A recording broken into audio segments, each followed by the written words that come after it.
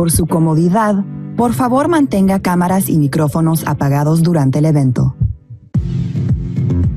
En un momento más, comenzaremos.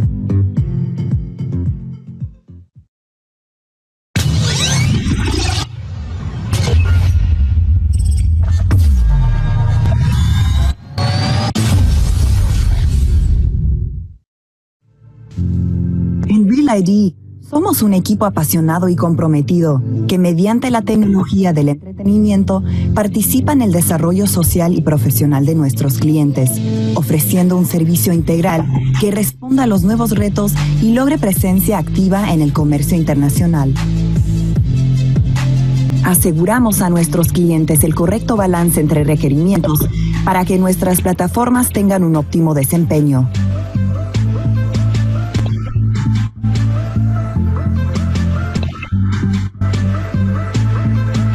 Buscamos la solución precisa para la convivencia de sistemas heredados y en su caso desarrollar la aplicación necesaria.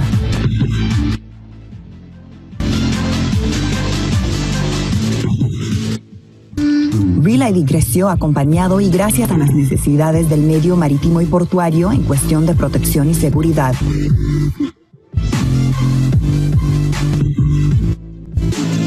Cada uno de nuestros módulos está administrado por una inteligencia artificial simulada llamada Soleil, capaz de aprender casos y encontrar soluciones según los requerimientos del usuario final.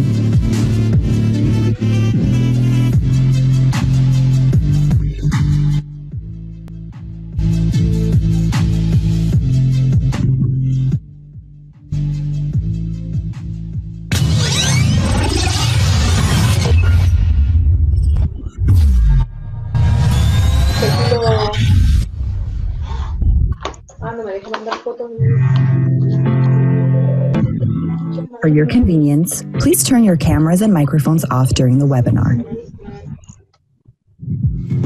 The webinar will begin momentarily.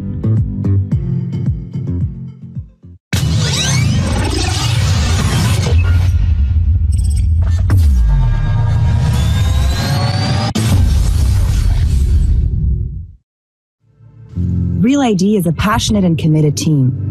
Through entertainment technology, we contribute to our clients' social and professional development. We offer a comprehensive service that responds to new challenges and has established our active international presence.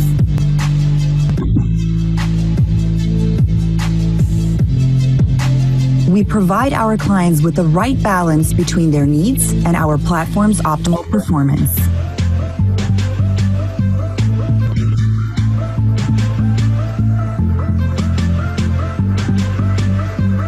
We seek precise solutions for the continued use of legacy systems and, where appropriate, development of required applications.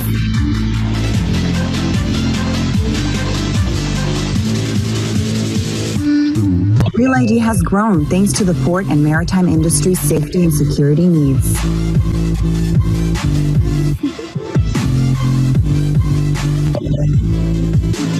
Each of our modules are managed by a simulated artificial intelligence called Soleil, capable of learning scenarios and finding solutions according to the end user's requirements.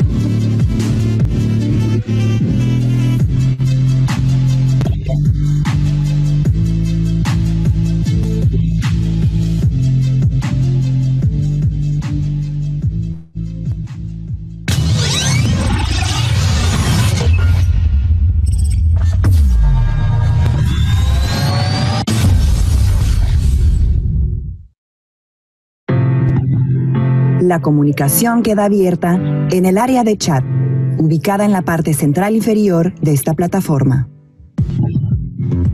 En un momento más, comenzaremos.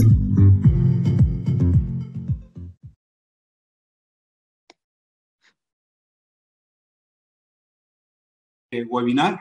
Mi nombre es Miguel Ángel Osuna Rodríguez, soy presidente de la Red PBIP México Internacional, anfitrión de este evento eh, que se lleva a cabo en coordinación con la Asociación Americana de Autoridades Portuarias, con la Comisión Interamericana de Puertos de la Organización de Estados Americanos y con eh, Maritime Policy Bureau. Eh, para nosotros siempre es un placer trabajar en coordinación con CIP OEA y con APA, como normalmente las conocemos. Y en esta ocasión tenemos un webinar muy importante, el concerniente a cruceros, la visión de la industria naviera y terminales. Recordemos que eh, es una de las industrias que más impacto ha tenido en esta pandemia del COVID-19. Hemos visto su relación con la actividad y el impacto en los puertos, Hemos visto eh, el impacto sobre las tripulaciones que laboran a bordo de estas embarcaciones y las problemáticas que se han llevado. Y hoy tenemos un webinar muy importante, eh, con la participación, desde luego, de eh, importantes representantes, tanto de CLIA como FSA, como la misma CIP OEA. Señores, esperamos que este webinar, como todos los anteriores, eh, les resulte de interés a ustedes y que la información que aquí nos den estos expertos nos puedan apoyar para entender cuál es la problemática que estamos viviendo y hacia dónde vamos. Esto es la parte importante. Sin más, señores, le dejo la palabra a nuestro querido amigo Jorge Durán, eh, quien habrá de hacer la presentación y la introducción. Jorge, muy buenos días, buenos días a todos y tienes la palabra. Gracias. Este, muchas gracias, Miguel Ángel. Muy buenos días tengan todos ustedes. Buenas tardes en Europa. Bienvenidos a este importante seminario sobre aspectos de la industria de cruceros. Eh, realmente este es un esfuerzo conjunto y quiero aprovechar para agradecer, aunque sea repetitivo, el apoyo de la Red México PVP Internacional, eh, así como el apoyo de, Rafael Díaz Balart de la Asociación Americana de Autoridades Portuarias, de Alfredo Serrano de, CLIA, del Cruise Line eh, eh, International Association, de Mario Aguirre del Florida Cruise Line, del Florida Caribbean Cruise Line Association, del FCCA, así como de Jill de Japdeva y no dejo de dar mi agradecimiento a Marine Policy Bureau, nuestros socios asociados y al último, pero no al final, a nuestros anfitriones tecnológicos Real ID. Muchas gracias a todos ustedes y muchas gracias a todo el auditorio. Veo que tenemos 123 eh, personas en este momento. Esperamos se vayan sumando más en el transcurso de este webinar. Eh, eh, ¿Por qué se hizo este webinar en este tema? porque como decía Miguel Ángel, es un tema muy importante, es creación de empleos, es este, divisas entradas a los países, es una industria que no solamente produce beneficios para ella misma, sino para todos los puertos a donde eh, los cruceros eh, este, paran. Eh, de todos conocidos los impactos terribles que ha tenido el COVID-19, no solo en, en esta industria, sino en las economías de nuestros países, pero en esta eh, industria ha sido especialmente devastador el efecto del COVID y, del, el peligro del contagio. Eh, como resultado de ello, el día de hoy veremos la opinión y la perspectiva de dos asociaciones de líneas de crucero, así como la perspectiva de una terminal. Esto, como ustedes saben, la industria de cruceros ha ido moviendo la fecha de reapertura debido a diferentes protocolos, tanto de la, de la CDC en Estados Unidos como, internacionales.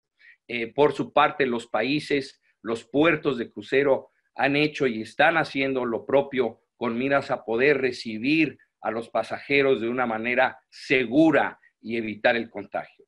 En fin, no me quiero adelantar, vamos a tener una muy rica exposición el día de hoy este, eh, y eh, no me queda nada más que agradecerles de nuevo a todos ustedes. Les recuerdo, eh, Sabina Malnis de, la Secretaría de la CIP va a estar moderando este, este evento y les recuerdo que sus preguntas, conforme les vayan saliendo las preguntas, las pueden hacer en el chat de aquí de la plataforma y nosotros las iremos guardando, agrupando para podérselas hacer al final a, los, a los ponentes. Así es que con eso les agradezco de nuevo su participación. Tendremos un muy exitoso eh, webinar y de nuevo mis gracias a los eh, eh, anfitriones. Miguel, te regreso la palabra. Muchas gracias. Muchas gracias, Jorge. Pues eh, sin más, le estaríamos cediendo a Sabina la palabra para que dirija el, el, evento y eh, pueda coordinar y presentar a nuestros participantes. Adelante, Sabina, bienvenida.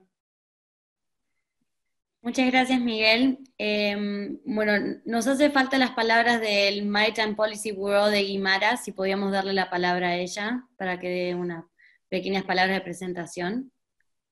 Gracias, Sabina. Bueno, agradecerles a todos, sobre todo a, Miguel y a la Red PBIP México, la oportunidad de colaborar junto a CIPOEA y también a Rafael Díaz Valar de APA, esta oportunidad de enfocarnos para ver qué puede hacer este sector de cruceros, esta industria, sabiendo que hemos sido impactados en toda nuestra industria, pero que a través de la responsabilidad y entendiendo la prioridad en la salud pública y la voluntad de hacerlo de una mejor forma, ver cómo este sector puede recuperarse de la mejor manera. Y creo que esa es la oportunidad que vamos a tener en este webinar de poder dar esa visión desde diferentes perspectivas, como hemos dicho, desde la industria, desde la naviera y de las terminales, para poder viabilizar este retorno a las actividades de esta importante industria. Así que Sabina, muchas gracias y de Maritime Policy Bureau, siempre abiertos a colaborar en todo este tipo de iniciativas eh, para apoyar al sector y hacernos cada día mejor a través de la cooperación y la sinergia. Excelente, muchas gracias Guimara. Bueno, voy a ahora introducir a Rafael Díaz Balard. El señor Díaz Balard es el CEO y fundador de Bestec International Corporation, una corporación de Florida establecida en 1993. Besteca asesora a empresas estadounidenses, latinoamericanas y españolas en sus operaciones internacionales, incluidas empresas de los sectores marítimo, financiero, educativo y energético. Desde marzo de 2009, el señor Díaz Balart ha estado sirviendo como coordinador de América Latina para la Asociación Americana de, de Autoridades Portuarias. Así que, Rafael, te doy la palabra. Muchas gracias, Sabina. Este, definitivamente este webinar es necesario y eh, Jorge, yo sé que tú has sido el que has básicamente llevado la batuta en esto, así que te, felicito. Eh, ustedes eh, recordarán que la infección, los infectados del COVID-19 em, em, empezó a, a, surgir la vertiginosa aumento en marzo y en abril de este año. Entonces, eh, la delegación latinoamericana tomó como eh, responsabilidad llevar a cabo una serie de videoconferencias, primero con el objetivo de ver cómo los puertos podían eh, intercambiar experiencias, mejores prácticas para eh, combatir o, digamos, disminuir la propagación del, del virus. Pero muy al principio, cuando empezamos a hacer estos, eh, estas videoconferencias, nos dimos, nos dimos cuenta de que la realidad de los puertos que tienen importantes negocios de cruceros en relación a los puertos que manejan carga eran dos mundos completamente apartes.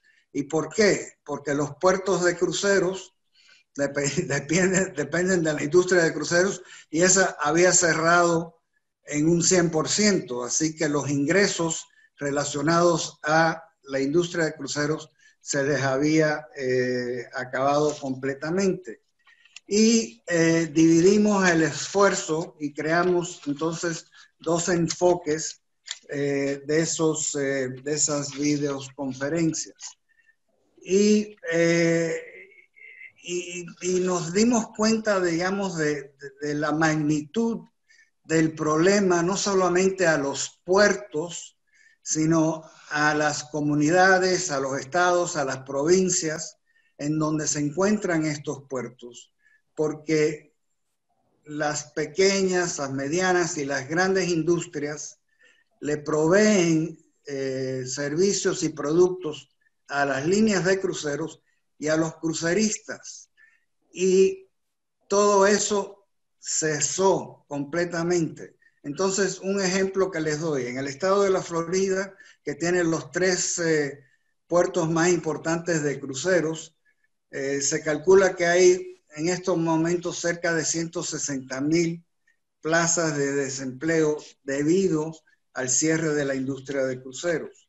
Pero ese, ese mismo fenómeno, esa, no quizás a las mismas proporciones, pero eso ocurre, por ejemplo, en México, eh, con este, eh, Quintana Roo, por, por el hecho de que Cozumel es tan importante para eh, el estado de Quintana Roo. Tienes el, el, ejemplo de Puerto Vallarta, de Ensenada, y así podemos ir a través de toda la región y ver que el efecto negativo económico es de una magnitud enorme. Entonces, vimos eh, una declaración que hizo la compañía Bermello Jamil a principios de junio, los que ustedes, los que no, los que no saben quién es Bermello Jamil, eh, es la compañía que básicamente ha diseñado todas las terminales o la gran mayoría de las terminales de cruceros a través del mundo. Y eh, ellos en una presentación que le llamaron el blueprint eh, para este, a safe cruise industry, enfatizaron que los interesados, los stakeholders, todo el mundo que está envuelto en la industria del crucero, en aquel entonces, o sea, estoy hablando de principios de, de, junio, uno miraba al otro y el otro miraba al tercero y el tercero miraba al cuarto, todos pensando que el otro era el responsable de tomar las riendas, de comenzar el, tomar el liderazgo para reactivar la industria, pero no se estaba haciendo nada conjuntamente, colaborativamente. Entonces, la delegación latinoamericana decidió que lo primero que había que hacer era crear conciencia de lo que les he dicho anteriormente, de la importancia de esta industria a estados, a provincias, a naciones, y que había que buscar la manera de eh, reanudar la industria lo antes posible. Claro que eh, haciéndolo con eh, protocolos que tuvieran características universales, utilizando los ministerios de salubridad, los, este, los diferentes, las regulaciones de los diferentes gobiernos, pero uniendo todo eso para que se pudieran crear unos protocolos a nivel, a nivel universal. Y, y creamos una declaración eh, al respecto que salió, que la publicamos el día 2 de julio de, eh, de este año. Eh, esa declaración no comprometía a nadie, a ningún, eh, o sea, no, había ningún compromiso por parte de nadie, solamente era para crear conciencia a través de los interesados en eh, reanudar la industria. Y se adhirieron a esa declaración 37 puertos y autoridades portuarias nacionales a través de toda la región latinoamericana. Le tengo que agradecer a Jorge Durán porque él ayudó a difundir la declaración y ayudó eh, mucho a que este, muchas organizaciones, muchos puertos se adhieran a la declaración.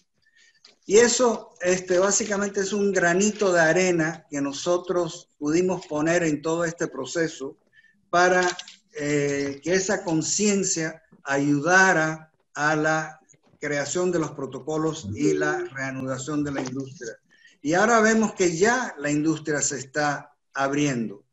Tenemos el gran ejemplo de el MSC Grandiosa en Italia. Ese es uno de los cruceros más grandes que tiene MSC.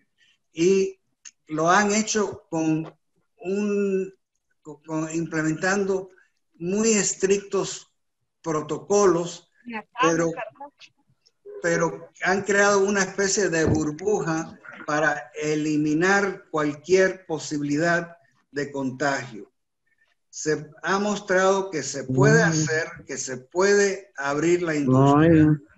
Y, eh, y a nivel de los Estados Unidos, que representa básicamente eh, casi el 50% de, de, los cruceros del mundo, eh, se le está presionando mucho a la CDC, de Center for Disease Control and Prevention, para que no extienda el no sale order después del día 30 de este mes. Y cuando le digo que hay presión, hay presión por parte de las líneas de cruceros, hay presión por parte de los sindicatos, hay presión por parte de este, eh, legisladores, el, senador Scott y el senador Marco Rubio hasta han eh, eh, introducido legislación para presionar a que se pueda reactivar la, industria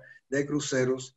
Y yo en este momento soy optimista de que podamos hacer, que, podemos, que podamos llevar a cabo esa reanudación con eh, protocolos muy estrictos por un lado y hacer que la reanudación sea conservadora. Quizás empezar con este, un porcentaje eh, mucho más pequeño de lo que los barcos pueden eh, llevar normalmente, pero se pueden tomar medidas para que la industria muestre que es saludable y que se puede ir continuando la, reactivación a través del mundo entero.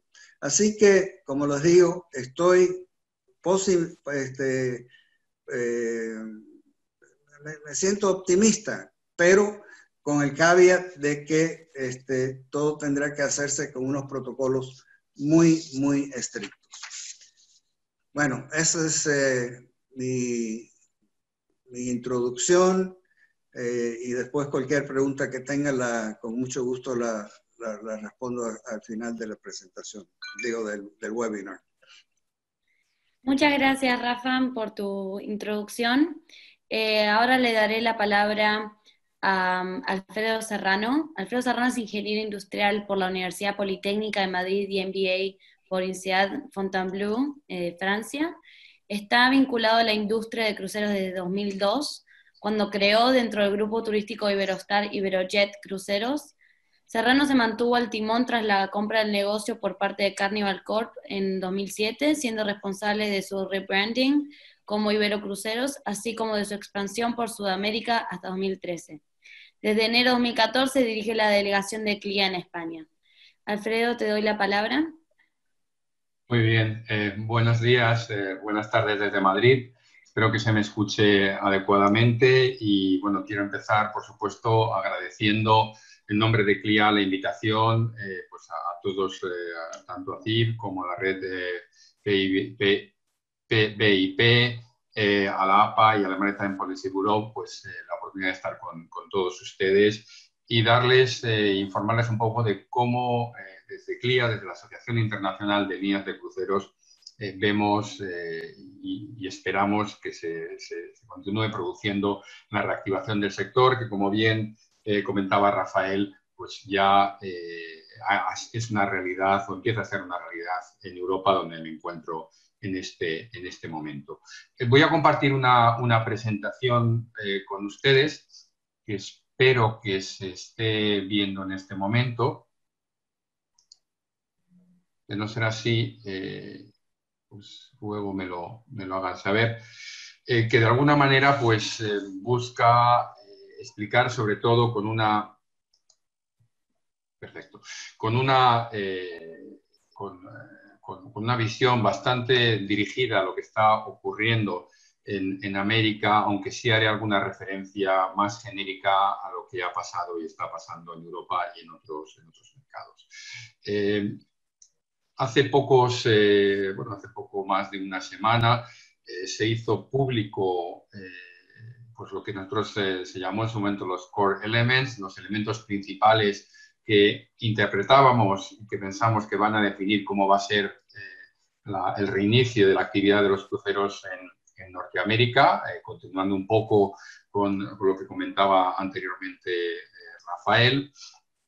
Y se, se, hizo pública por parte de CLIA eh, pues eh, a la vez que se eh, respondía al, request por parte del CDC de información una serie de, preguntas que habían realizado el sector de, las cruceros, de los cruceros. el término de core elements o, elementos principales hace referencia al hecho de que creemos y pensamos que conformarán la base de una, política, de un policy más, eh, más, más, ambicioso, más completo, eh, que, sobre el cual estamos eh, trabajando en estos momentos. Pero, sin embargo, estos elementos principales seguramente serán los más significativos o estarán sin duda entre los más significativos que, que, se incluirán en la totalidad de, este, de estos protocolos. representan el acuerdo entre las compañías de cruceros eh, miembros de, CLIA sobre algunos de los asuntos más complejos y sobre los que más ha costado encontrar eh, pues un punto en común. Y ahora que ya estos asuntos eh, o estos puntos han sido acordados, seguramente el camino hacia el reinicio de actividades iniciándose en Estados Unidos, seguramente consideramos que es bastante más claro que antes se busca que, esto sea un punto de partida, que sean los, eh, la, base del, primer inicio, si se permite la, expresión, de cómo se van a iniciar las actividades, pero serán, eh, y está previsto que sean continuamente evaluados y ajustados según vayan cambiando las condiciones. todo lo que tiene que ver, evidentemente, con el desarrollo de, la pandemia y también de los remedios de la tecnología eh, vacunas, de los tratamientos que pueda haber disponibles según la ciencia eh, pues vaya, vaya dictándonos y vaya informándonos mejor.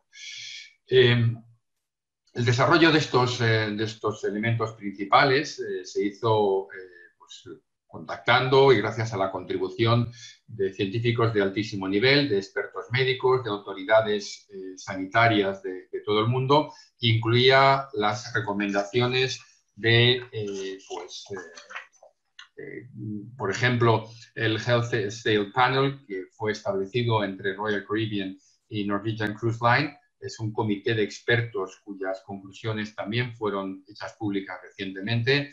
MSC, a quien hacíamos referencia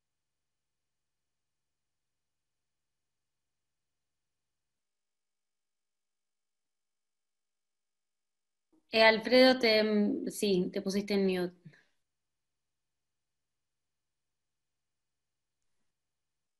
Creo, ¿se me escucha? Sí, ahí se te escucha. Vale, sí, perfecto. No, sé por qué se, apagó automáticamente. Eh, como comentaba anteriormente, esos comités de expertos de las diferentes compañías de, cruceros fueron eh, reforzados con, con, los protocolos que ya eh, fueron eh, puestos en marcha por compañías que ya están navegando de una manera exitosa, como es el caso de MSCA, que se hacía referencia anteriormente, pero también Costa, desde hace más de 15 días, está operando dos barcos en el Mediterráneo, eh, TUI Cruises, que también tiene barcos operando en el norte de Europa y en el Mediterráneo desde hace una semana, Ponant, Sea Dream y otros.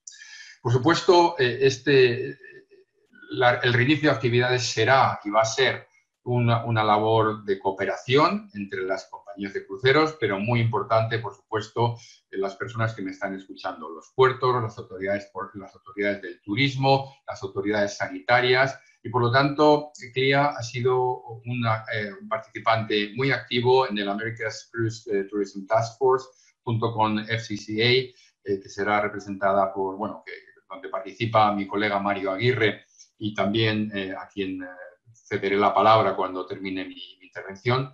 Y este Task Force eh, bueno, pues, trae, une a,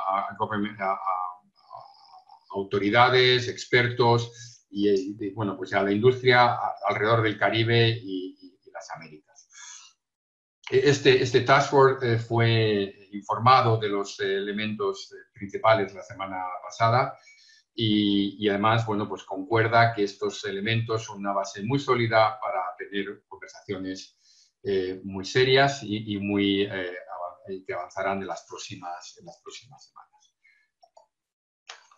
¿Cuáles son esos eh, elementos principales? Pues nosotros los, los separamos, los clasificamos en cuatro áreas.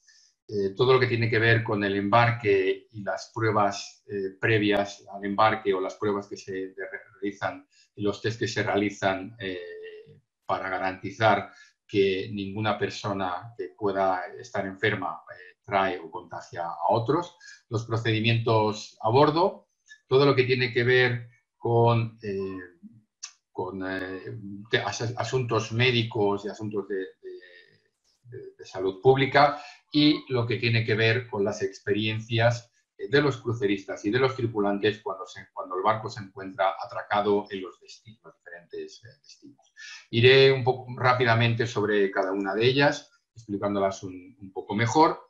Pero bueno, quizás eh, el, principio, sin duda, es todo lo que tiene que ver con el embarque y los test eh, que se realizarán a los, a los clientes, a los turistas y a los eh, tripulantes y quizás, sin duda, o por lo menos para mí, el gran acuerdo y el, titular eh, más importante de, los anuncios que realizamos recientemente es este compromiso por parte de las compañías de cruceros de, CLIA que eh, todas las personas, sean pasajeros o sean tripulantes, que, estén o que vayan a estar a bordo de un barco de crucero, serán recibirán una prueba previa de SARS-CoV-2 eh, para eh, minimizar cualquier posibilidad eh, de que llegue una persona embarcada a bordo. Además, se realizarán otro tipo de, screenings, otro tipo de, pruebas, como puede ser tomas de temperatura, declaraciones de salud y cualquier otra cosa que pueda considerarse oportuna y, lo referente a la tripulación se realizarán tres test antes de que un tripulante pueda empezar a trabajar eh, a bordo eh, de un barco de crucero, uno antes de que salga de su país de origen, otro, un segundo previo al embarque y un tercero también a bordo, eh, pero después de un mínimo de siete días de, cuarentena. Es decir, y, a, partir de ese momento, mientras que esté realizando su trabajo, también eh, será testado como mínimo una vez al mes.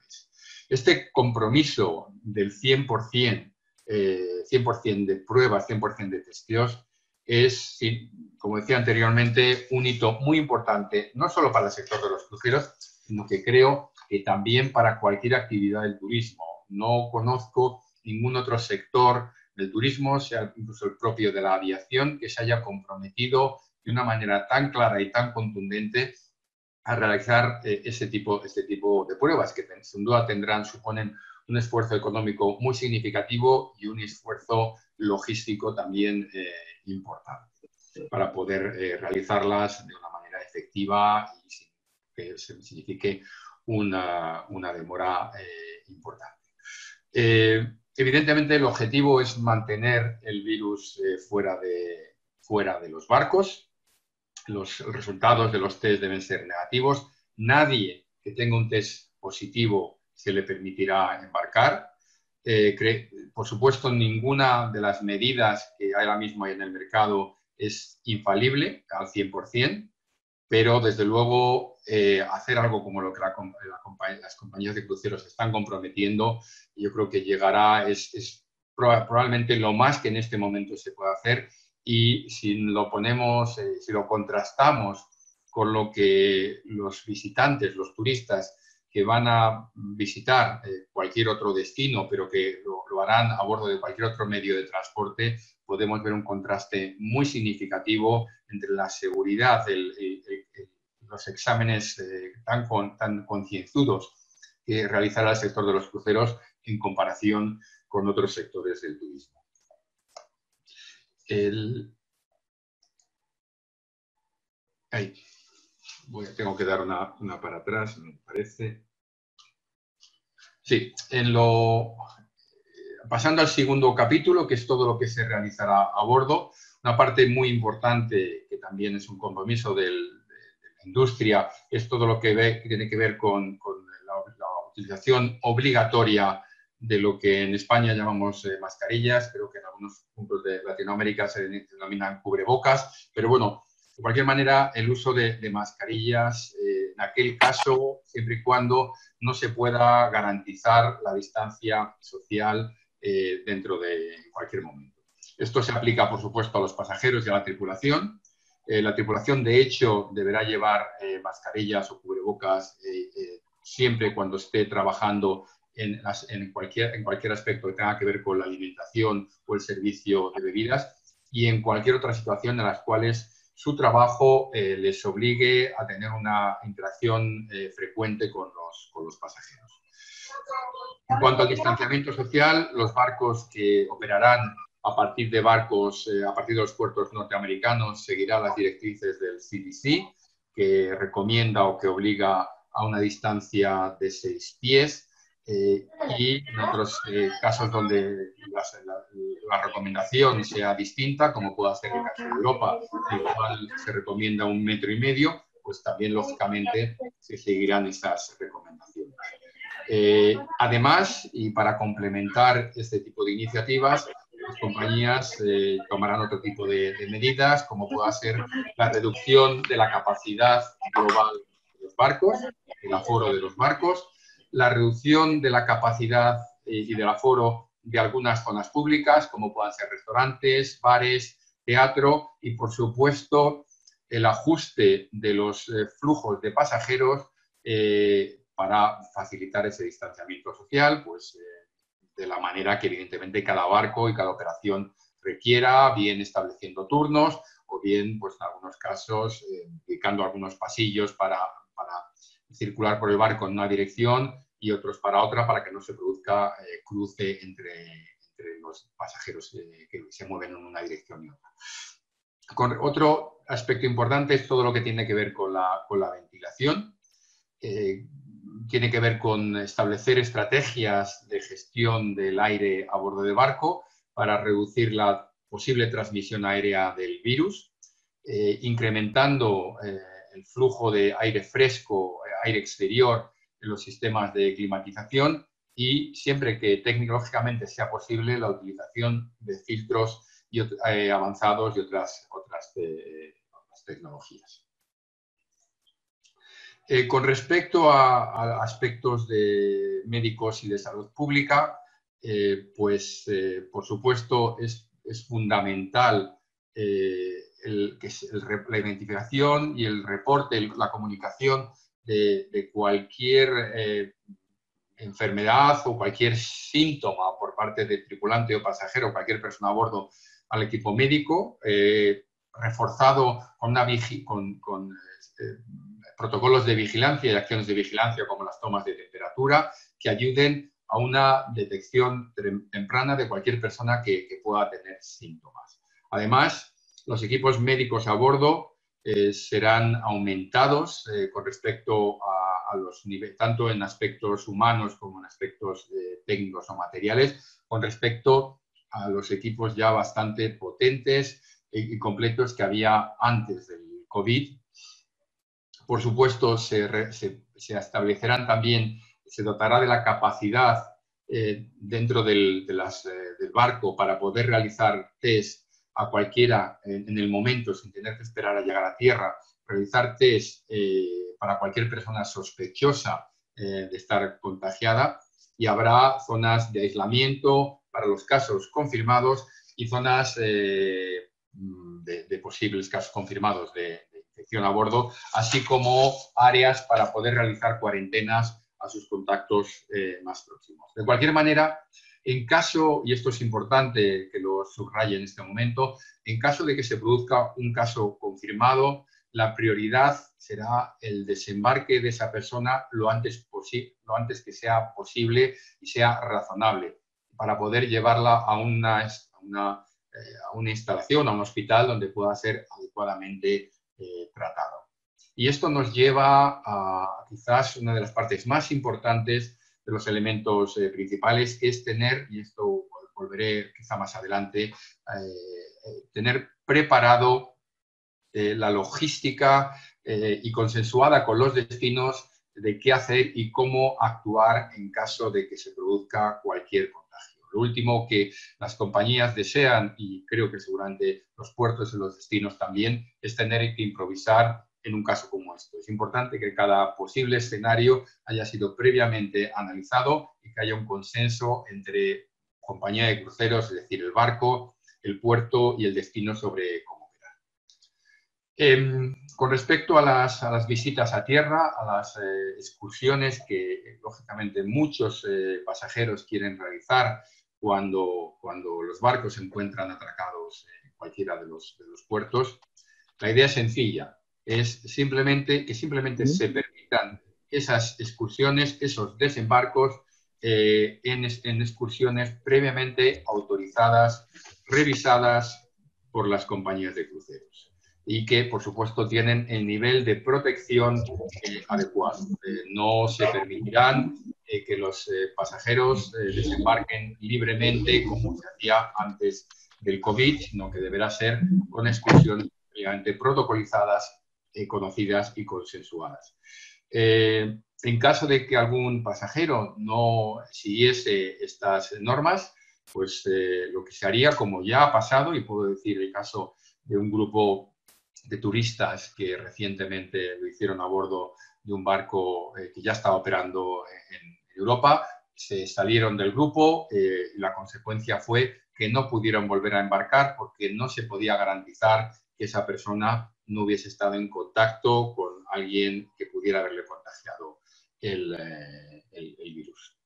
Ya para terminar, eh, prácticamente, eh, quizás es importante y una pregunta que seguramente algunos de ustedes están realizando es cuál, será, cuál será la reacción por parte de los, clientes, de los turistas, de los cruceristas, una vez que estos, estos cruceros empiecen a, Bueno, ya tenemos la experiencia en Europa y realmente, bueno, pues eh, en general la demanda está respondiendo, es decir, está apreciando los esfuerzos y todo lo que estoy diciendo, he dicho anteriormente. Y nuestra propia investigación que realizamos como CLIA indica que el 77% de aquellas personas que han hecho un crucero eh, anteriormente eh, son muy, es probable o muy probable que decidan eh, realizar un crucero en los próximos dos años.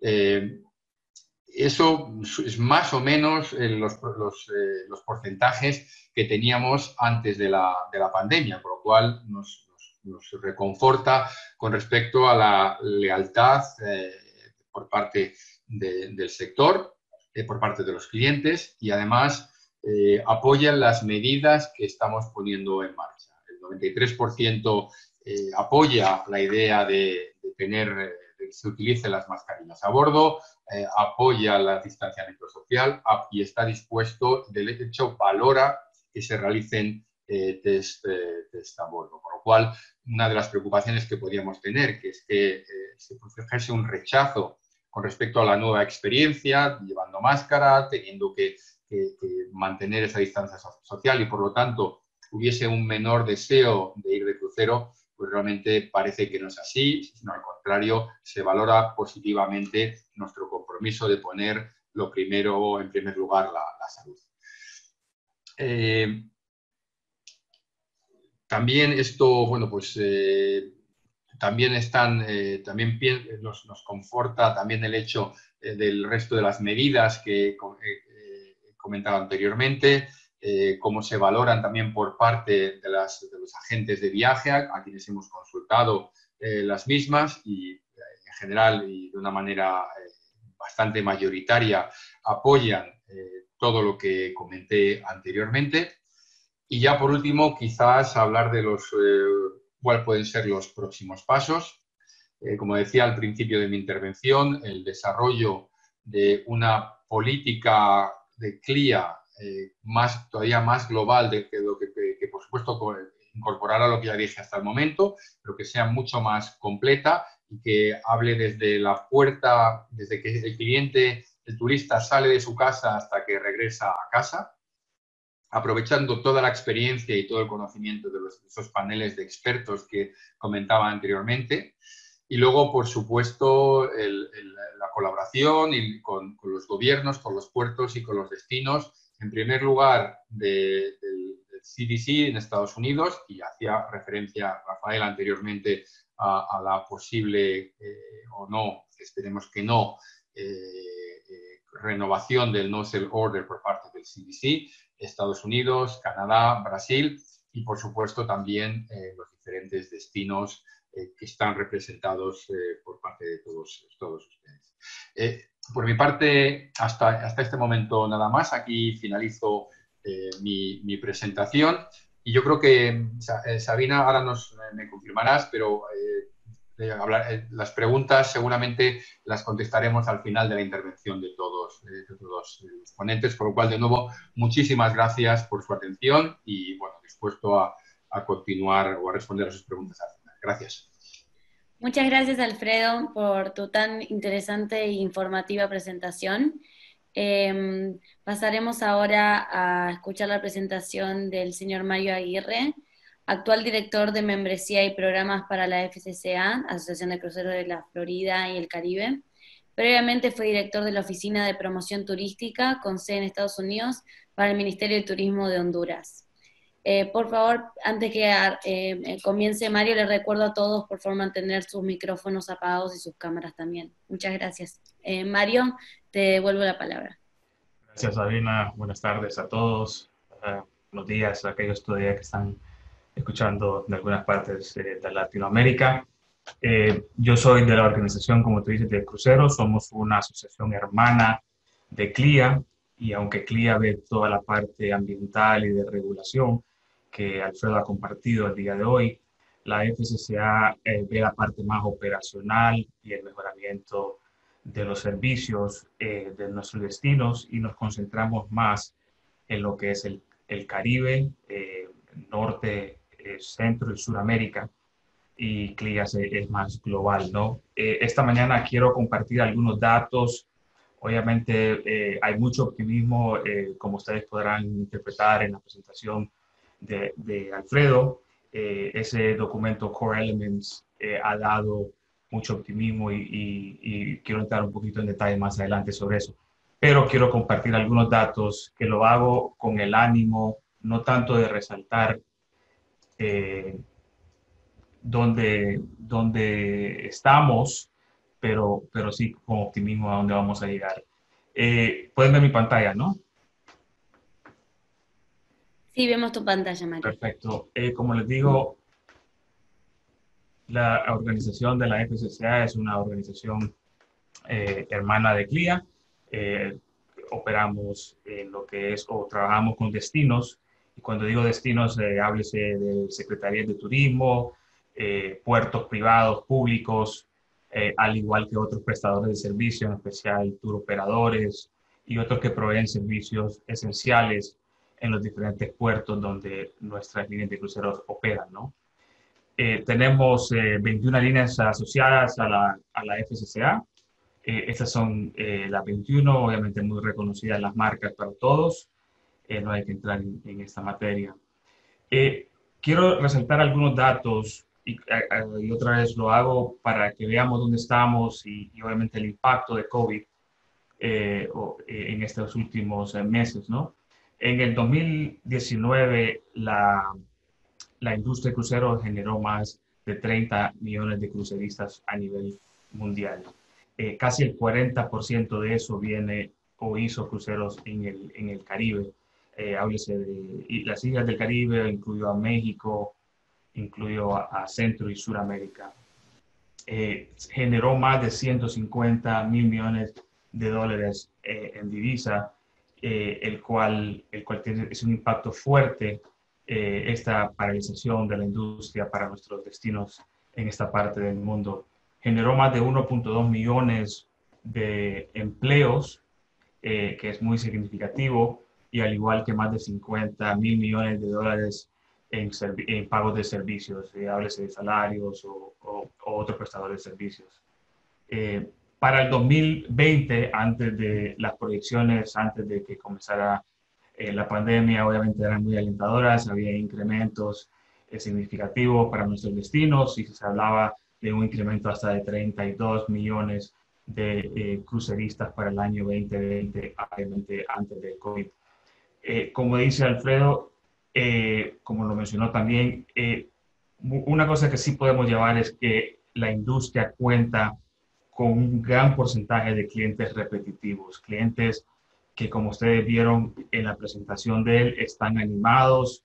Obviamente hay preocupaciones en ciertos aspectos, pero las han podido identificar y, y, y, a, eh, traerles esa confianza que se ocuparía para volver a, a levantar nuestra industria. ¿Dónde estamos? ¿Cómo llegamos a este momento? Bueno, sabemos que a partir de marzo 13 las compañías de crucero voluntariamente deciden cesar operaciones eh, por lo que estaba sucediendo con la pandemia. El, a, días después o el siguiente día, el CDC de Estados Unidos gira un no, un no sale order, que es lo que tenemos en este momento. Durante este periodo de seis meses y, pico hemos eh, tenido ampliación en, la, eh, en el no sale, obviamente por parte del CDC, pero igual las compañías voluntariamente han también extendido sus operaciones o, suspensiones eh, voluntariamente de operaciones. Ese es el caso actualmente. Vemos que el CDC tiene un no, un no sale order hasta el 30 de septiembre, pero las compañías voluntariamente lo tienen hasta el 31 de octubre. ¿Qué va a pasar? Obviamente estamos a la espera, se puede, información puede salir en cualquier momento o, mañana o pasado. Entonces, obviamente hay mucha expectativa en qué es lo que pueden, en que pueden anunciar eh, el CDC. Eh, el impacto económico, obviamente, como les digo, es solamente para tener unos comparativos. Sabemos eh, lo duro que ha sido para nuestros destinos, no solamente en la región nuestra aquí, sino mundialmente. Estamos hablando de pérdidas, si lo medimos hasta el mes de julio, estamos hablando de pérdidas casi de 50 mil millones de dólares de la industria. Y en temas de trabajos, estamos hablando casi de 335 mil trabajos mundialmente, que algunos son suspendidos, o algunos se van a perder, pero sí ha sido un impacto fuerte y en ingresos casi 15 mil millones de dólares. Si extendemos la, el periodo hasta el mes de septiembre del mes actual, obviamente vemos que los números van, van subiendo. Estamos hablando de 77 mil millones de dólares en, calculación. Eh, igual sube el, porcentaje de, empleos perdidos y la producción. Se estima que cada día que la pandemia, que, eh, que hay eh, cese de operaciones, se pueden perder un promedio de 2.500 trabajos.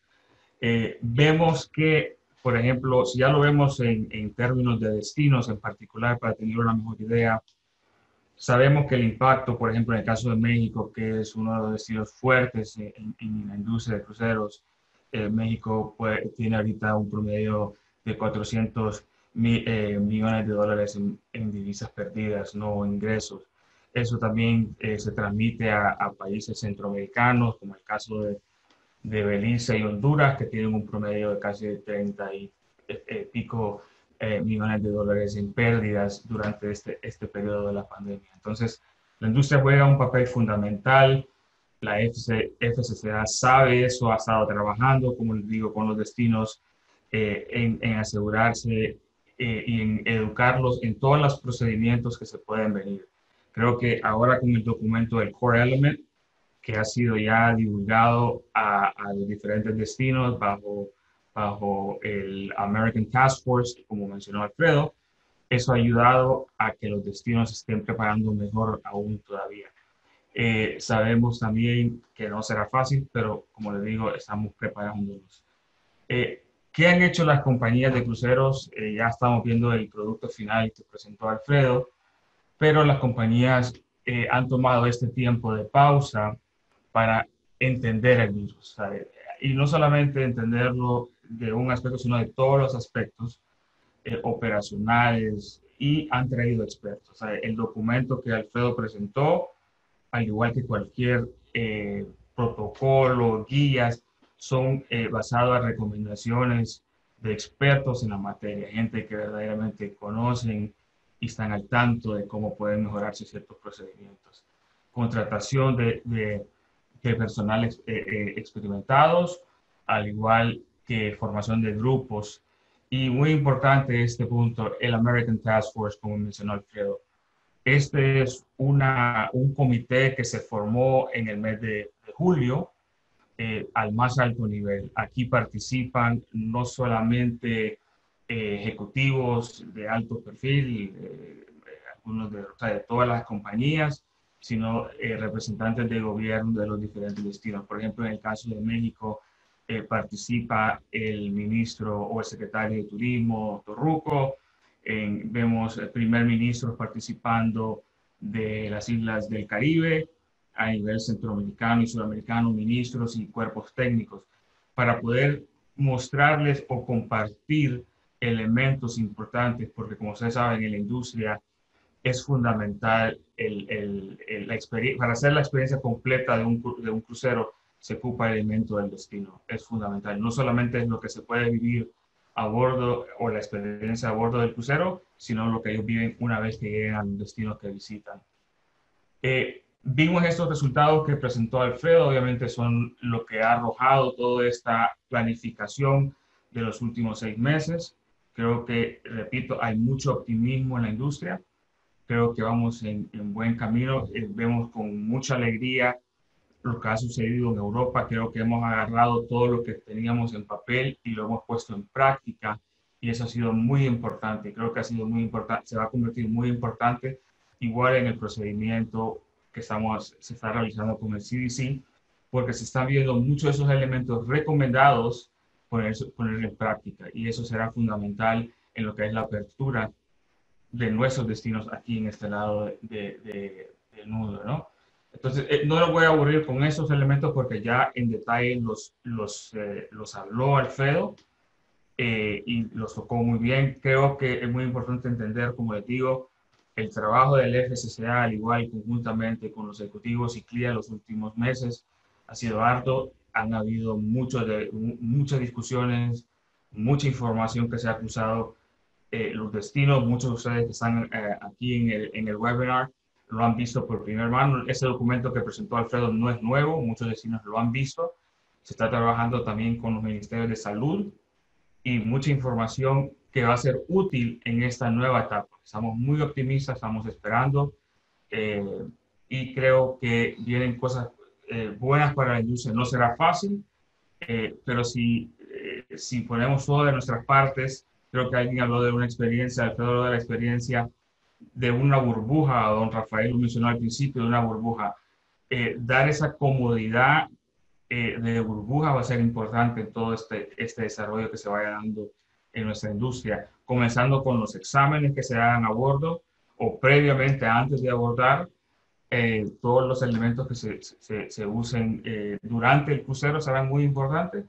Eh, igual, como les digo, la FCC está trabajando, seguimos eh, con nuestros destinos y en cualquier cosa que podamos hallar, aquí estamos. Igual yo compartiré, compartiré mi eh, contacto e información al final, por si tienen alguna pregunta o sugerencia, con mucho gusto estamos para cuidarles. Agradecerles una vez más por el tiempo y, y quedo a sus órdenes. Gracias. Muchas gracias, Mario. Eh, bueno, procederé ahora a darle la palabra a Jill Salmonsmo.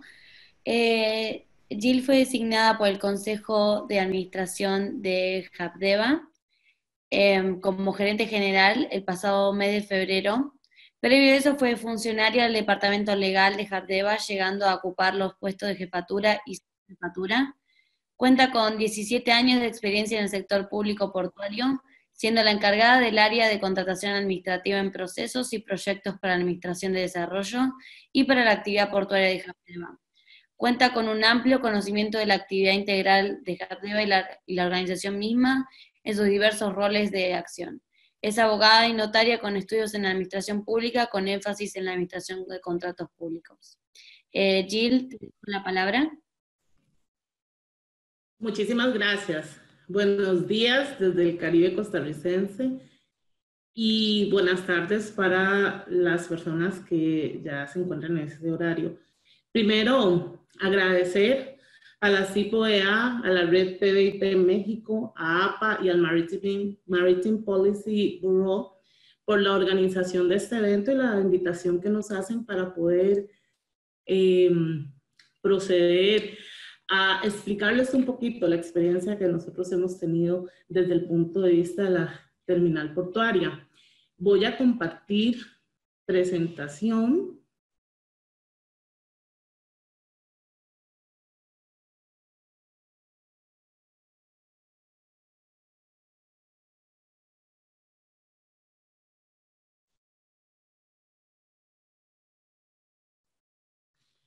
Eh, espero que la estén viendo. En el caso de Habdeba, nosotros, además de ser una terminal portuaria, pues estamos encargados de la, eh, el desarrollo de la región del Caribe costarricense. Por eso el tema de los cruceros es de suma importancia desde estos dos puntos de vista. Estamos en un proceso bastante fuerte de transformación eh, que inició con un plan maestro portuario, el cual nos dio la ruta a seguir en el 2008 sobre cómo debíamos de especializar nuestros puertos.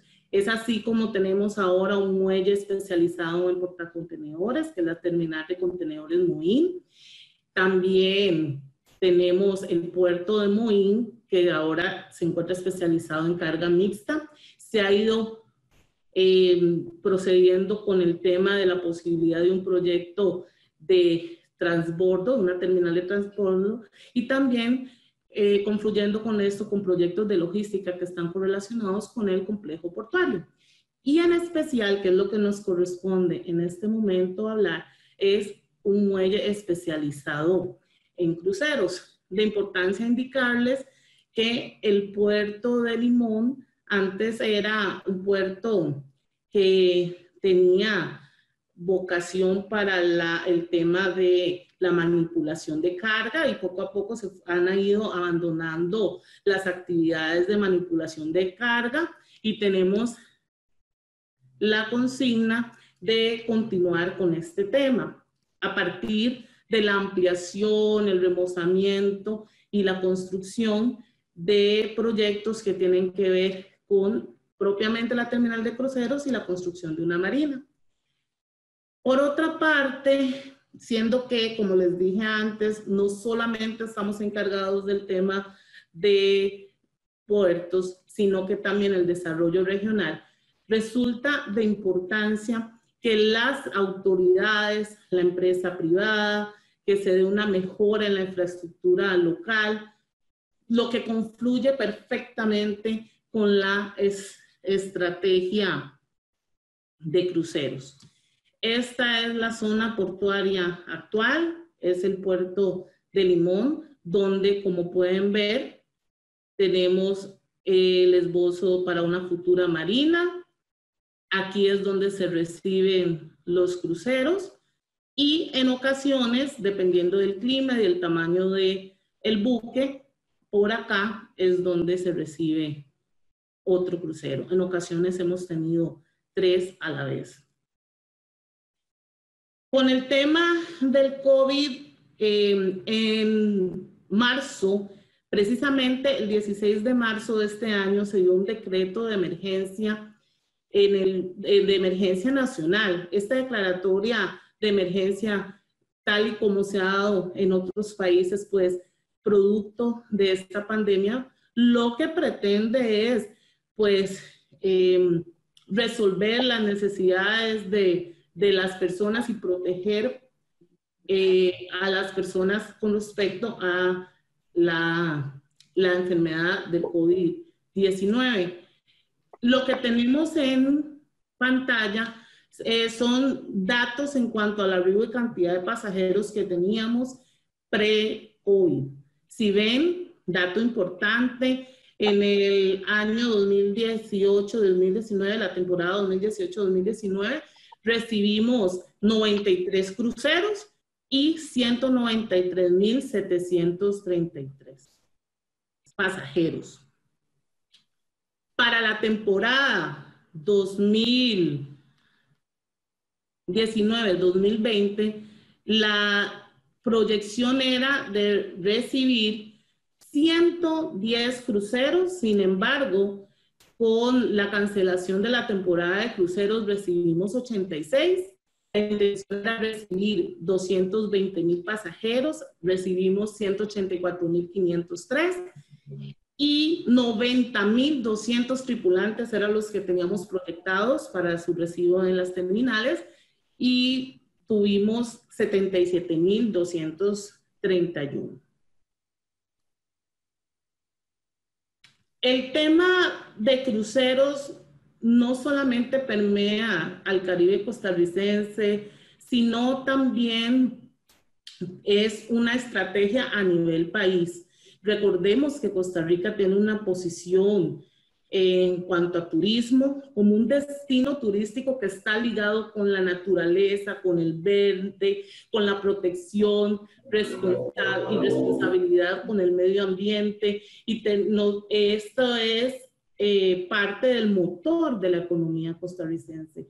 A raíz de eso, pues, en una integración de diferentes actores para efectos de que se proceda con la reactivación económica, se ha instaurado incluso desde la Presidencia de la República la Mesa Nacional de Reactivación de Cruceros, con la participación del Ministerio de Obras Públicas y Transportes, del Instituto Costarricense de Turismo, de las terminales portuarias que reciben cruceros, entre otros importantes.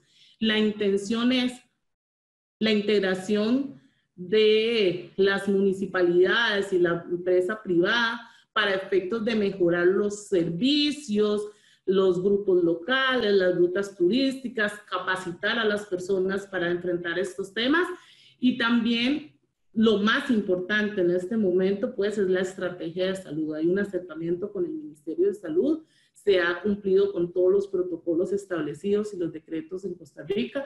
También es importante indicar que el sistema de salud costarricense es sumamente robusto desde los años 40, eh, la seguridad social de nuestro país es un pilar importante para Costa Rica y en, en el caso de esta pandemia, la reactivación de los cruceros no puede quedarse de lado. También en la operación de cruceros tenemos la, la intención de recuperar, una vez que se recupere la industria seguir recibiendo más cantidades de cruceros, estar dentro de las rutas de los barcos, tener en cuenta también los permisos de los usuarios y las condiciones que son requeridas para la operación, que como dije antes, ahora, además de los temas de siempre, pues incluyen este, esta necesidad de cuidarnos todos para efectos de no seguir propagando el tema de la pandemia que nos afecta mundialmente. La intención, como dije antes, es el posicionamiento del país junto con la comunidad y sumado a la terminal portuaria.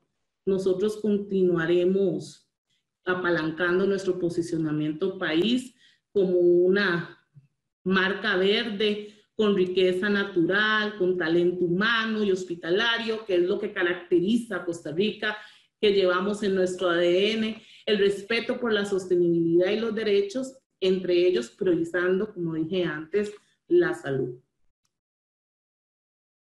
Entonces, dentro de lo que estamos haciendo, eh, es la mejora de la recepción de los pasajeros, continuar con el atractivo, medidas de seguridad desde el punto de vista de salud, y también medidas desde el punto de vista para la seguridad de las personas eh, y la salud, como dije, como un elemento primordial de la experiencia del usuario que llegue a nuestras terminales portuarias.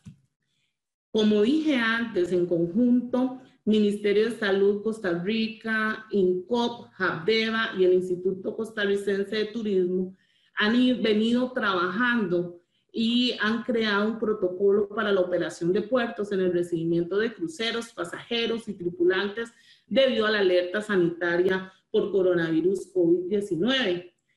Em, estas medidas no son únicamente para los puertos, las medidas van eh, con el fin, están dirigidas a todas las partes que componen la interfaz entre buque y puerto, a efectos de mantener tanto al personal que trabaja en, en las instalaciones portuarias como a los visitantes eh, saludables, seguros y estas medidas van, son para el buque durante su estadía, para los puertos, para el tema de la libre plática, para los operadores portuarios, incluso para el desembarque de los pasajeros.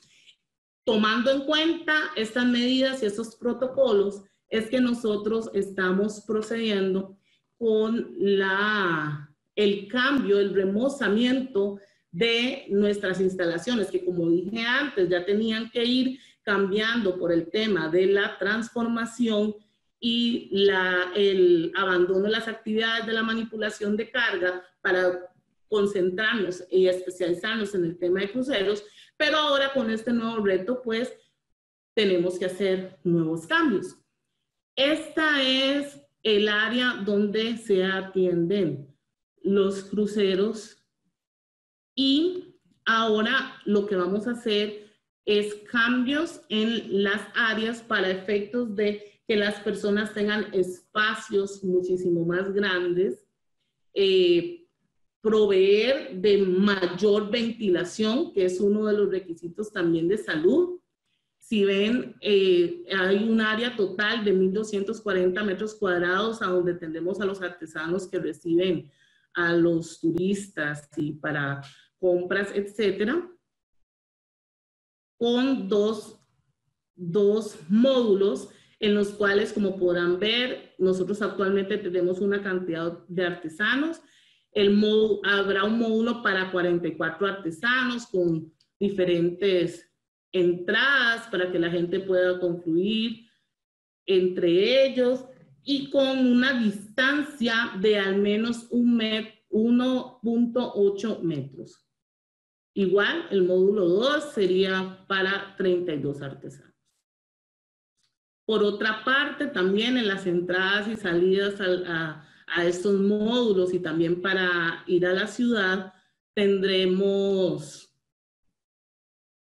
lavatorios, siendo uno de los ejes esenciales para el tema de la salud, pues el lavado de manos y otros. También tenemos una sala de abordaje que es por la cual cruzan eh, los turistas para, para continuar con el tour que, que han planeado y estamos eh, procediendo con cambios, ampliaciones, etcétera, y con todas las medidas correspondientes para preservar la salud de tanto de los pasajeros como de las personas que estarán trabajando allí. Parte importante es la rotulación en la zona, donde se estarán dando las, las medidas que son necesarias para efectos de que los cruceristas puedan saber cuáles son los lugares en los cuales pueden transitar, eh, acondicionar también las áreas de tránsito para que las personas puedan no encontrarse de frente y tener bastante amplitud a la hora de, caminar y otros necesarios. Esta es la zona que va a remozarse para efectos de que haya mayor amplitud en el tránsito de las personas cuando lleguen a nuestros puertos. Como les decía antes, este es el, el, diseño a futuro. Este proyecto está en, una licitación mediante la cual se va a, a tener la factibilidad y prefactibilidad de este, del mismo, perdón, este, tenemos la zona marina turística, el sector B que es el muelle de cruceros y este sector C que también va a ser remozado para efectos de cruceros. Este es el diseño preliminar que se tiene para esos efectos. Eh, así las cosas, yo concluyo diciendo que nosotros estamos procediendo con las medidas necesarias para efectos de poder recibir a las personas de una manera eh, cumpliendo con, con, lo que requieran pues las agencias navieras, lo que requiera la industria, con lo que establece el Ministerio de Salud para resguardar em, la integridad física de todas las personas que nos visiten. Comto Limón, muchas gracias y estoy a la orden para cualquier pregunta que tengan al respecto. Muchas gracias, Chio. Em, muy interesante la presentación sobre las nuevas terminales. Em, bueno, les agradezco a nuestros cuatro presentadores eh, a Rafa por su introducción y Alfredo, Mario y Gil por sus tan interesantes eh, presentaciones también. Y pasaremos ahora a hacer un par de preguntas que hemos recopilado de la audiencia. Arrancaré por orden más o menos de las presentaciones. Em, eh, Rafael, em, preguntaron para, hubo una pregunta para vos, preguntando por si el crucero de MSC está llegando a otros destinos o solo zarpa y navega para regresar al mismo puerto de inicio, manteniendo la burbuja. No, en este, en este momento sale y regresa al mismo puerto donde, este, de donde salió. o sea, son eh, casi como pruebas en este momento. No se puede decir que hemos regresado a, una, a la industria como era antes, ¿no? Sí.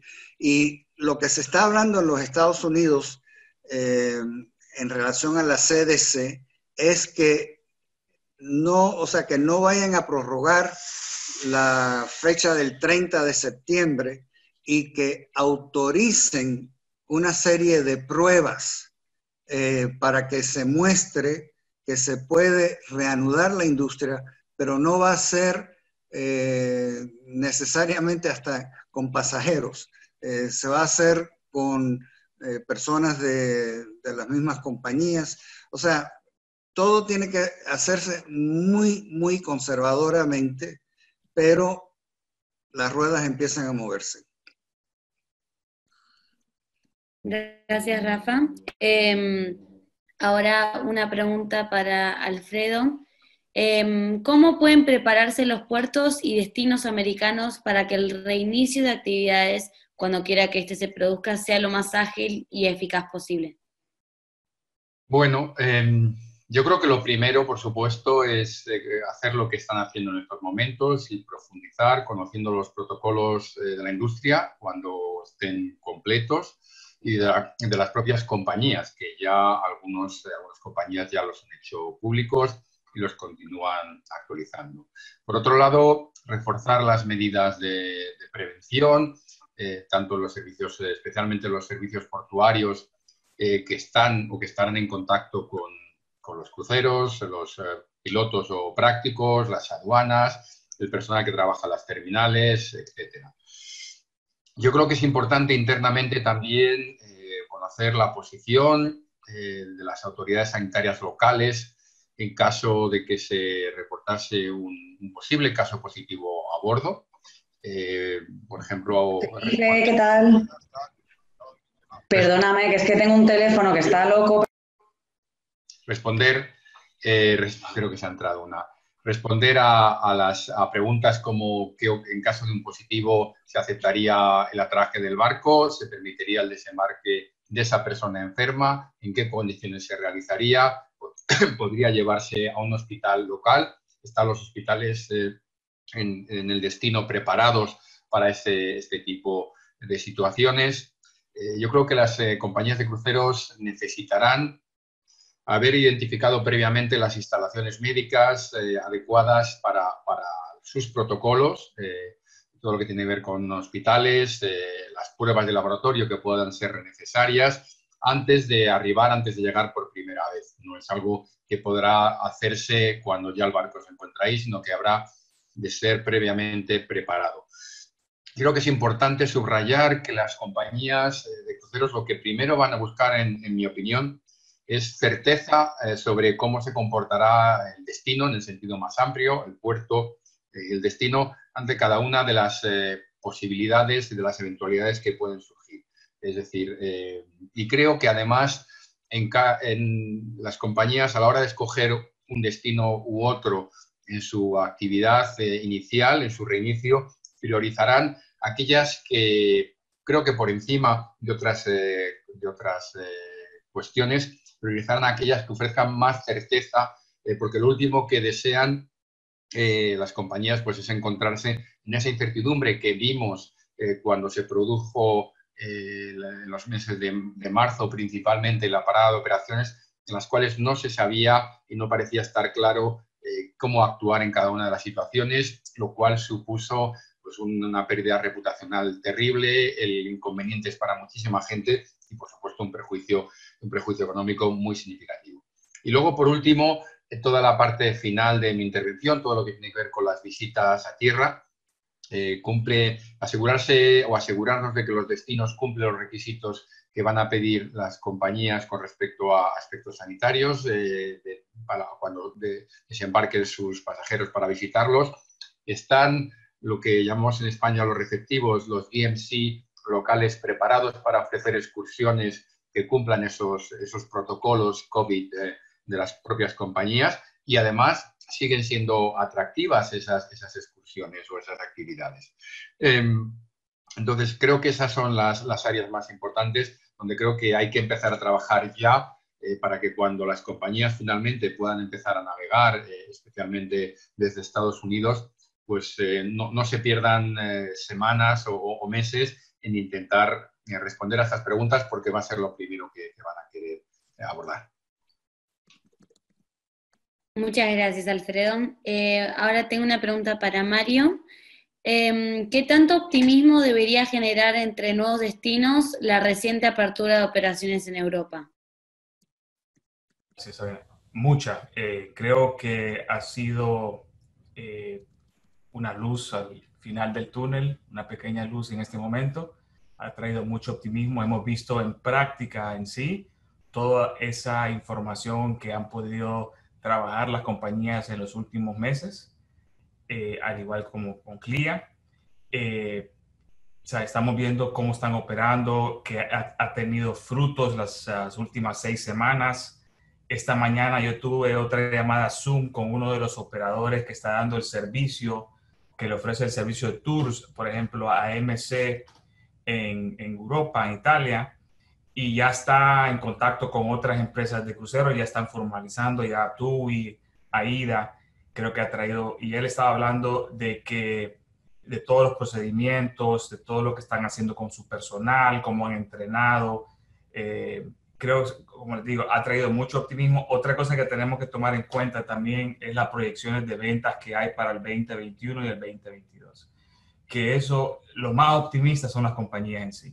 Las compañías, recordemos, que no solamente llevan pasajeros a ciertos destinos, sino igual tienen inversiones en diferentes destinos, especialmente en el Caribe, México, Norte y Sudamérica.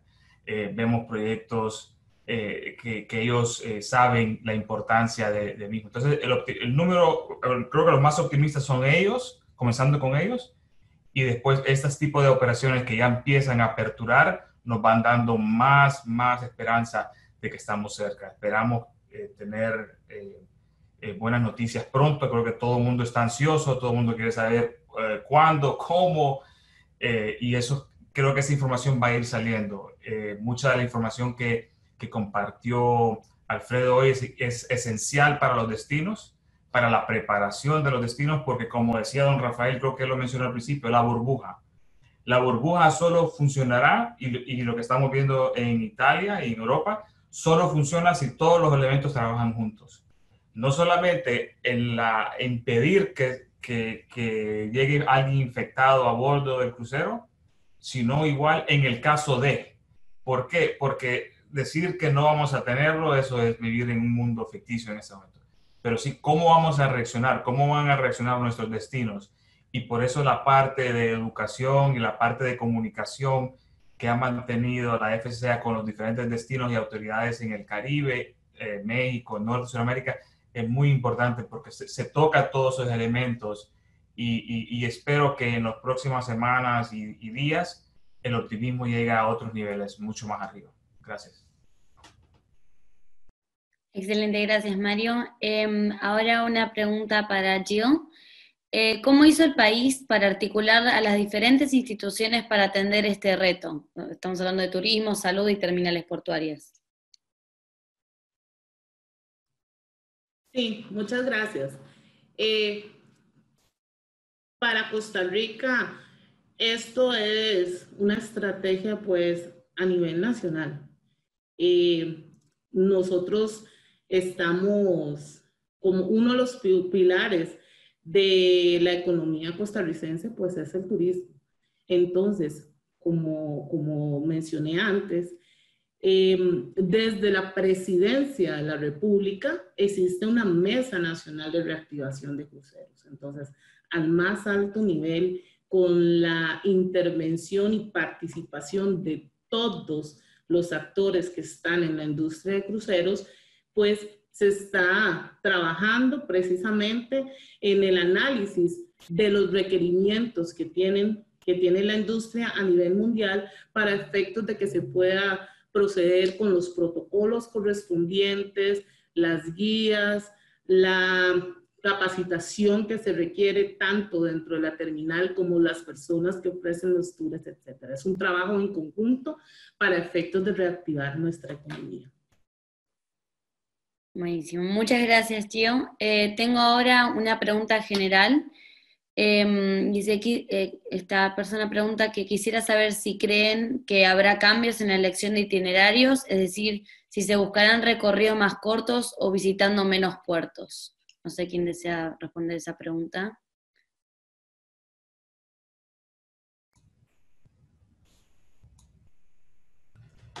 Eh, yo podría dar algunos comentarios y, mira, yo creo que honestamente ahorita todo está en la mesa. Eh, comenzar la operación es lo fundamental, ¿no? Eh, pero creo que serán las compañías en su momento que darán a conocer esos cambios o esas nuevas rutas, si es en el caso pero yo creo que ahorita, eh, como les digo, es un proceso que se está dando, hay que dejarlo correr.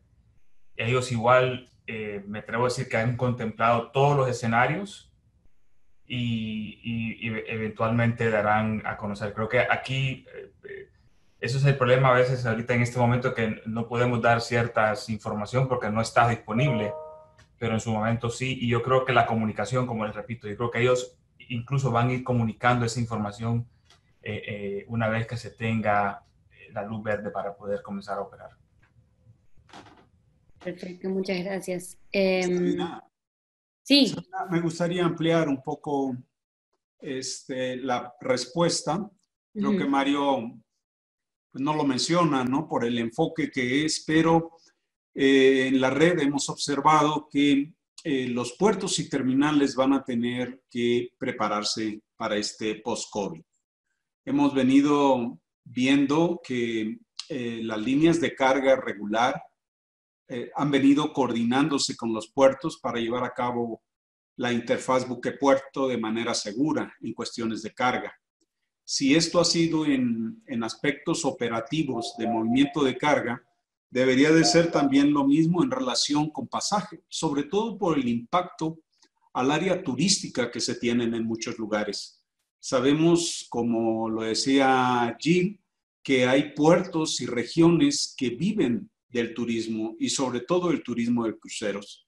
Entonces, los puertos y terminales tendrán que adaptar sus procesos, no solo operativos y en materia de protección, sino ya lo hemos dicho también en materia de sanidad.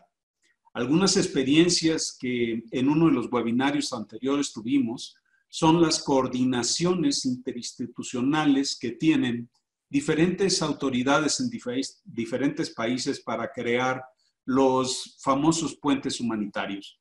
Eso también es parte de las actuaciones que tendrán que tener las eh, administraciones en los puertos para que los cruceros sigan llegando y eh, permanezcan con las líneas. En la red eh, se hizo un análisis y estamos seguros que las actividades de cruceros en aquellos puertos donde no se preparen para recibirlos, sencillamente no van a llegar por todo lo que nos ha estado diciendo Alfredo y Mario, la misma Jimara, en cuanto a eh, garantizar al pasaje, garantizar a los turistas esa eh, seguridad o ese menor riesgo de eh, poder contraer este, el COVID o no nada más el COVID. En otras reuniones, en otros webinarios hemos dicho que los puertos se tienen que preparar a futuro para cualquier tipo de pandemia que se nos presente. Eh, eso es el comentario, ampliando un poco lo que había dicho este, Mario. Muchas gracias, Sabina. Sabina. Em, y hago una última consulta dirigida a, Mario, eh, que dice así, los escenarios actuales orientan a, ver las medidas de bioseguridad dentro de los cruceros y el transporte de las cruceristas a la tour que realicen. Sin embargo, otro punto de importancia lo es las capacidades de las infraestructuras portuarias en los distintos países. Se han iniciado conversaciones con los países y terminales para validar el cumplimiento de las disposiciones preliminares del CDC. ¿Y puedes comentar algo sobre las nuevas infraestructuras en construcción, como el caso de la terminal de cruceros de Amador en Panamá? Eh, bueno, ya se ha comenzado, como les digo, a socializar eh, ciertos documentos o ciertos lineamientos con los destinos y obviamente se está haciendo en este momento a través de las entidades de gobierno que al final son los que regulan y que autorizan y todo lo otro. ¿no? Igual eh, ellos han conformado diferentes subcomités en cual tienen, eh, han involucrado aspectos, los puertos, directores de puertos o cuerpo técnico en ese aspecto. Esperamos que una vez se tenga ya todos los eh, lineamientos finales eh, autorizados y todo lo otro, eso igual se estará compartiendo en las próximas semanas. Eh, o sea, eso es lo que hay en este momento. Eso puede variar y puede cambiar, pero sí la línea de comunicación se ha mantenido desde antes. Obviamente se empezó a, a generar mucho más en el mes de julio, porque fue cuando se formalizó ya el Task Force y se reúnen incluso eh, hay reuniones semanalmente o cada dos semanas, por mucho. Y ahí, como les digo, participan ministros, participa el ministro de Turismo de Panamá y, diferentes ministros de la región de esta parte del mundo. Entonces, más información salga, más se va a compartir porque las compañías, como les digo, en la burbuja todo el mundo tiene que saber qué es lo que tiene que hacer. Eso va a ser fundamental en todo este proceso. En caso de proyectos, aunque no tengo eh, mucha información ahorita porque no manejo el tema de la inversión en, el puerto de Amador, sí es importante. Panamá es un, es, ah, es una, un punto estratégico clave para las compañías de, de cruceros. Eh, y, y, obviamente ese proyecto es importante en todo lo que se va a venir para la industria en los años que vienen como les digo, las proyecciones de ventas nos, nos indican, y, no lo digo yo, lo dicen las mismas compañías, que las proyecciones para el 2021, 2022 son muy alentadoras. Esa es la, eso es una gran ventaja que tiene la, la industria, que tiene mucho cliente repetitivo. Ahora vemos normal, por ejemplo, ver una estación de gel bacterial en los supermercados, en, en muchos de los lugares donde visitamos, no públicos los gel bacteriales y muchos de esos procedimientos ya los tenían las compañías de cruceros. Entonces, obviamente están reforzando muchas más otras cosas que sus expertos les han dicho y ellos han presentado basado a todas las normativas nuevas que se van a venir. Pero sí, eh, termino con eso, la comunicación ha estado bien fluida, nos hemos encargado que todo el mundo esté. Posiblemente no todo el mundo tenga la información ahorita, porque se está manejando a ciertos niveles que también ellos en su momento dirán cuándo es apropiado que empiecen a comunicarle a sus puertos y a todo lo otro. y todos los proyectos, como le digo, el, el, proyecto del Puerto Amador es importante en la estrategia a futuro, al igual que las inversiones que tienen individualmente cada empresa de crucero igual. Muchas gracias, Mario. Em, Jorge, vos querías comentar, hacer un comentario. Este, sí, muchas gracias, Xavi. Eh, bueno, ya, ya dio más de la una y media. Voy a tratar de ser muy breve para eh, que antes de, que hagas la, pequeña relatoría y empecemos a, decir adiós, quería yo eh, primero nuevamente agradecerles a los ponentes. Creo que hemos recibido excelentes presentaciones, aún considerando la gran incertidumbre que es lo que prevalece y lo que permea todo este sector. Hemos visto por parte de los eh, cruceros y de las líneas, las diferentes líneas de acción que están tomando en términos a prevenir el contagio eh, y dar esa seguridad al pasajero que va metido en el buque de que por lo menos en el buque no se va a enfermar. Y hemos visto también la importancia de la comunicación entre los cruceros y los puertos así como las dependencias de salud, para que ese mismo pasajero tenga la confianza, la seguridad de que si se baja en el puerto a hacer una excursión, tampoco se va a enfermar. Entonces estamos hablando de dos mitades, la mitad que está en el agua y la mitad que está en la tierra. Eh, les felicito a todos por el trabajo que han hecho. Eh, para la Comisión Interamericana de Puertos es un orgullo participar en estos eventos. Reitero que esta es una iniciativa eh, original de Marine Policy Bureau, pero que sigue el trabajo hecho por la American Association of Port Authorities, especialmente por Rafa, Rafa eh, eh, Díaz Balart. Así es que, bueno, les dejo con esos comentarios, con el comentario de que es muy importante la comunicación. Son dos partes, son, dos partes, la parte terrestre y la parte marina, y tienen, que estar en coordinación para que eh, los cruceros eh, reinicien. El, puerto debe de darle a la línea de crucero la seguridad suficiente para que paren su puerto y sus pasajeros no se contagien. Eh, repito y termino con lo que es una gran incertidumbre, lo que, lo que tenemos y, y bueno, las fechas, como ustedes saben, se han ido atrasando, algunos, como vimos que nos contó Rafa, en Europa, en el Mar eh, del Norte y en el Báltico han hecho algunas cosas, ahora un italiano en el Mediterráneo, pero todavía existe una incertidumbre y estén seguros que conforme vayamos avanzando y haya más información, estas instituciones participantes aquí les estaremos informando.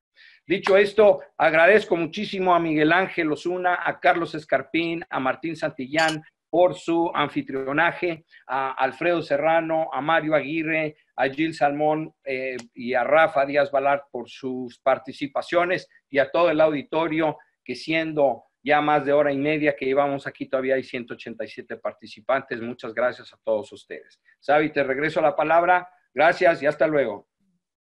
Muchas gracias. Eh, bueno, em, hago muy breve el, resumen que había armado para, mm, para tener por lo menos los puntos más claves de este intercambio de conocimientos y prácticas exitosas que realizamos hoy. Eh, bueno, como todos ya sabemos, la pandemia ha afectado enormemente a la industria de cruceros, generando pérdidas hasta el día de hoy de aproximadamente 77 mil millones de dólares y 518 mil puestos de trabajo, y que cada día eh, que las actividades no se resumen, se pierden alrededor de 2.500 puestos de trabajo, como bien dijo el señor Aguirre. Si bien esta pausa en actividades generó grandes impactos negativos desde el día 1, se utilizó este tiempo para comenzar a planificar la mejor forma de resumir las actividades. Se estudió el virus, su comportamiento, su evolución, y se empezaron a planificar protocolos que pudieran permitir garantizar la seguridad sanitaria de los pasajeros y la tripulación. Dentro de estos nuevos protocolos podemos identificar cuatro elementos principales, como bien había dicho el señor Alfredo Serrano primero, la realización de tests para los pasajeros y la tripulación previo a la embarcación, además de los chequeos de temperatura y otros síntomas. Segundo, la incorporación de nuevos procedimientos a bordo, como el uso de máscaras cuando no sea posible el distanciamiento físico, también medidas de distanciamiento social y mejora en la ventilación. En tercer lugar, la mejora en el servicio de salud a bordo, eh, que implica aumentar la capacidad médica a través de planes de respuesta basados en el riesgo adaptados a cada uno. Y cuarto lugar, un mayor control en las excursiones en tierra, que solo se, o sea, que esto implica que solo se permiten excursiones en tierra según los protocolos prescriptos por los operadores cruceros. Pero además de generar protocolos que sean llevados a cabo por un puerto o una línea de cruceros en particular, la pandemia ha empujado al sector marítimo portuario a fortalecer sus lazos comerciales entre las líneas de cruceros y las autoridades de los destinos. El trabajo en conjunto, en conjunto entre estos dos actores serán claves para garantizar el éxito de la reanudación de actividades en la industria de cruceros, porque el trabajo en conjunto garantizará que la información acerca de las nuevas técnicas, los reportes, los protocolos o medidas que puedan ser innovadas en el sector sean compartidas con el resto de eh, la comunidad eh, portuaria. Y por último, eh, cabe destacar que la industria no solo debe ocuparse de lo que pasa dentro del crucero, sino de la logística y la eficiencia de las terminales, como bien decía Gio, eh, que también demarcarán el éxito de estos protocolos de procedimiento. Las estrategias que se llevan a cabo en las terminales de cruceros para una mejor recepción de los pasajeros serán también esenciales para garantizar esta renovación de actividades e, e, incluso implicarán un trabajo conjunto más grande, porque no solo estamos hablando de la línea de cruceros haga responsables, sino también de las autoridades portuarias y gubernamentales. Así que nada, quise hacer este resumen bastante breve y habiendo resaltado estos puntos, agradezco las muy informativas presentaciones de nuestros expositores, a la audiencia por sus tan interesantes preguntas, y pasaré a darle la palabra al señor Carlos Nicolás Escarpín, secretario de la red PBIP, para la clausura. Muchísimas gracias, Sabina. Eh, me sumo al reconocimiento ya expresado por Jorge Durán por Sabina a nuestros distinguidos conferencistas, realmente muy, muy elocuente eh, lo que nos han acercado y fundamentalmente aquel aspecto que señalaban, que esto es solamente una luz al final del camino. Creo que hay etapas que todavía debemos seguir avanzando.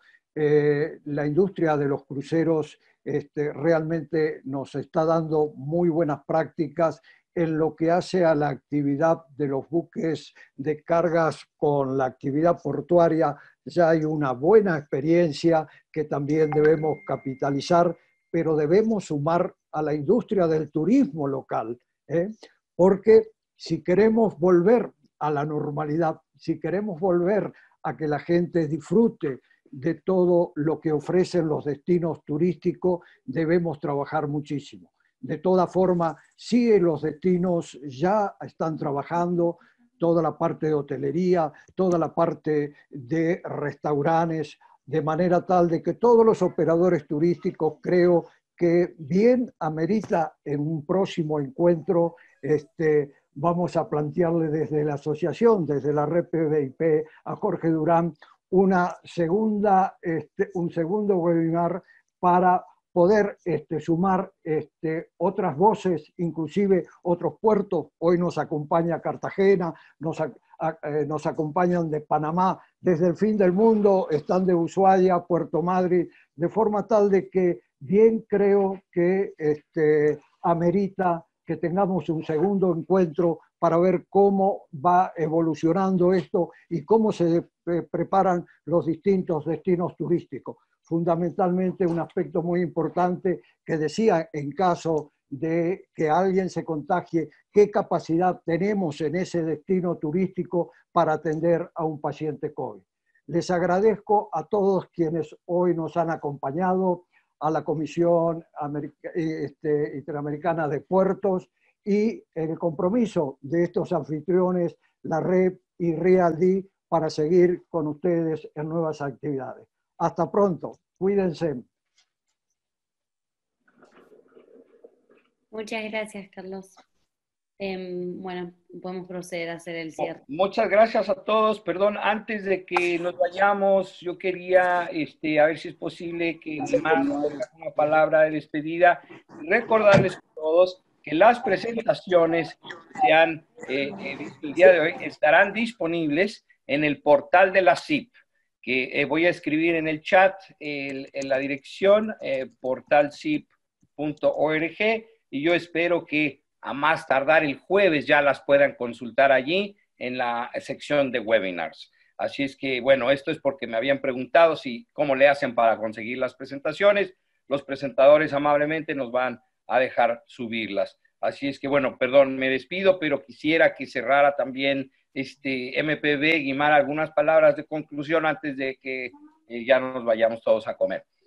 Gracias a Jorge, gracias a la audiencia. La verdad que creo que ha sido una jornada muy provechosa para todos. Hemos podido ver esa importancia y esa visión de no solamente desde las líneas de crucero, sino como la interacción con el puerto. Y algo comentaba Carlos muy importante, como también en los destinos hay que hacer esa preparación porque debe ser en conjunto, esa burbuja que, tanto ha reiterado Rafael y, Mario, creo que es sumamente importante, y ver también que existe la oportunidad, como ya se está haciendo en diversos sectores, pero es un conjunto de oportunidades, un conjunto de tener las líneas claras y creo que, bueno, vamos a tomar esa palabra de un segundo evento para poder verlo también desde las perspectivas de los destinos, también ver esos protocolos muy, muy ejemplificantes, el caso de Costa Rica, que lo tiene completamente integrado. Y creo que ese, ese es el paso correcto, integrar a todo el sector alrededor de la industria de cruceros para poder generar una reactivación efectiva. Así que reitero mi agradecimiento para todos, para los coorganizadores, y aquí vamos a estar siempre para cooperar en todo lo que así consideren oportuno. Así que seguimos en este trabajo con la CIP y con todos nuestros coexpositores y, y organizadores. Muchas gracias, Nos vemos.